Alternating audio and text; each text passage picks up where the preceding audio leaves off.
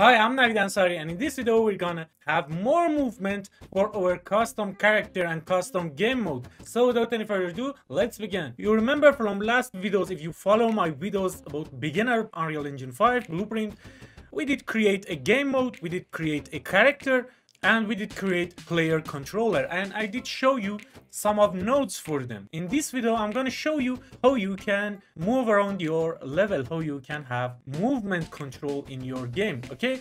So you remember from last video we did create a action mapping for jump, okay? And with that we jump, okay?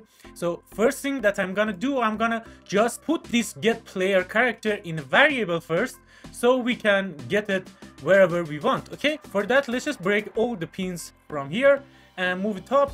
And in here first thing that i'm gonna do i want to cast it to BP my character okay I did show you what this casting means in last video how you can cast it to your BP my character. With this cast you can access all the variables in our character in here okay? So you can see we have health and we have a stamina we have camera we have a spring arm and we have everything right? So with this casting we can have all of those in our blueprint class in here or any blueprint class okay? So this casting need execution pin. So let's just give it with begin play in here an execution pin and in here you can see that it will give us the bp my character that has health in it uh, that has jump in it that has movement functionality in it okay? So what i'm gonna do i'm gonna right click in here and promote it to variable okay? So with this we have a variable that we always can get the get the reference of that always in our blueprint class okay?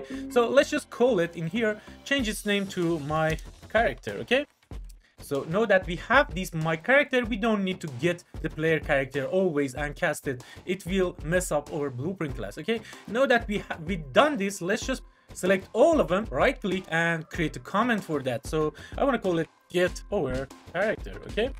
So whenever we zoom out, you can see that this section is doing getting our character. That's all it's doing, okay? So now in here, you can see we want whenever they hit a space or action jump, okay? So whatever they we put in this action mapping in here, for example, in this case is a space bar. In last video, I did show you how you can have input mapping for your game, okay? So whenever they hit a space, this action jump will trigger this action jump and this execution pin will execute or jump. But it ne it need a target okay?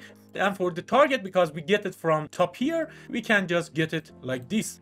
We can just put it in here and connect it like this. And now if we compile and save and go to our game now we can hit the space and jump. And you can see it jump correctly right so this way it will be more readable. So again let's just put it a comment for this section. This is for jump section okay okay? So if we zoom out we can see this section is doing uh, the jump for us and this section is getting our character okay? We can move it down like this and everything is readable right? It's not a hell of mess. So let's just again compile and now i want to do move forward move backward move to the right and move to the left. How we can do it? First of all i want to create an action mapping and axis mapping for that. If you don't know how you can open this project setting just uh, i want to close this and in edit you can go to project setting. And in here go to input and what I'm gonna do I'm gonna add a axis mapping okay? First of all I always do it like this. The naming is axis for the first part and after that axis for moving forward forward backward okay? So if the if we want to move forward we use W for example in keyboard we can search for W okay? So whenever they hit W in their keyboard this it give us one for output okay? So let's just add another one for s. Of course we can search it by search s in here and find it here okay? And whenever they hit s on their keyboard the value that this axis forward and backward give us it should be minus one to go backward right? So now we have this. Whenever they hit w we get one and whenever they hit s it give us minus one okay? So let's just go to our player controller and in here get that axis forward and backward okay? Now we have this and you can see that it give us axis value that is that one and minus one that we want okay?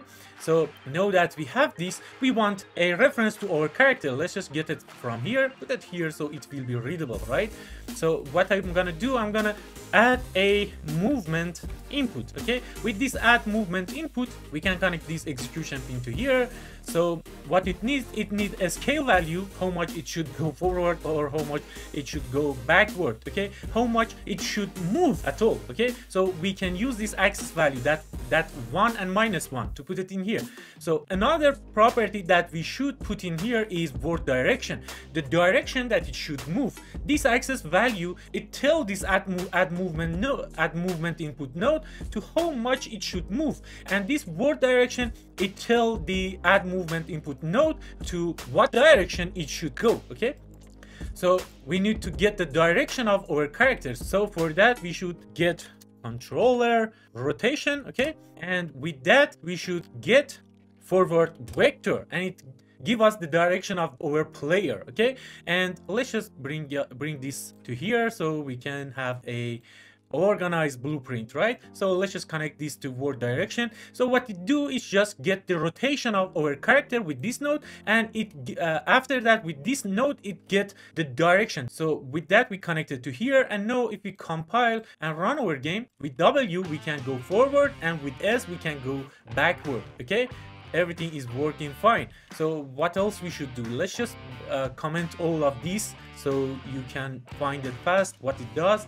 And this is for backward and forward movement. So again if you just unzoom you can see that this section is doing backward and forward movement okay so what else? We need to go uh, when they hit D or A on their keyboard, it should go right and left like any game, right? So let's just compile this and again go to project setting and I want to add another axis mapping in here for axis. I want to name it axis left, right, this is for left and right movement and I know you get the idea how you can do that. If, if you search for D in here, so whenever they hit D on their keyboard, it should go to the right. And again, let's just add another one for A and whenever they hit A, it should go to the left. Okay, so the, the scale should be minus one because it should go to the left, right? So now that we have this, let's just go here. Again, get a reference to our character in here and let's just zoom a little bit. And in here I want to search for axis that left and forward that we create okay? And with that what i'm gonna do i'm like we did before i want to just use this add movement input to go left and right okay? So let's just put it in here so we have room in here to do what we want to do. First of all, let's just connect this execution pin to here and this axis value to here. And now we should give it the direction that it should move to that direction, right? So for that, again, we can do it like this. We can get control rotation, okay? And with that, in this case, we want to get right vector okay? So this get forward location let's say i'm the character right? So if you get the forward vector the forward vector is this. If i'm looking here the forward vector is this. And if i lo look in here the forward vector will be this. And if we get the right vector right vector is like this. If if i move here the right vector will change. And you can see this is the right side of me okay?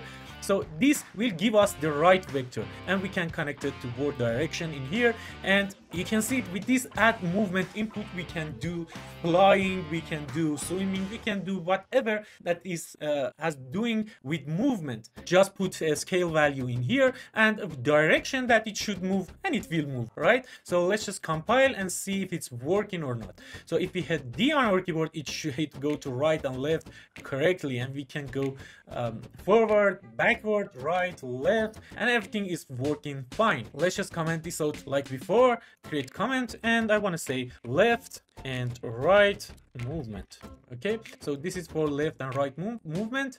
And again you can see that our blueprint code is readable and we can easily find out what section doing what in here right I think that's enough for this video. In this, in the uh, next video, I will show you how you can um, use your mouse to look at left, right, and uh, wherever you want, top, down, and wherever you want, right? So please, if you want to help me, hit that like button. It's very important to me. This is the way that I know that you like this video. It's my honor to have you at the end of this video. Thank you very much for watching. Bye.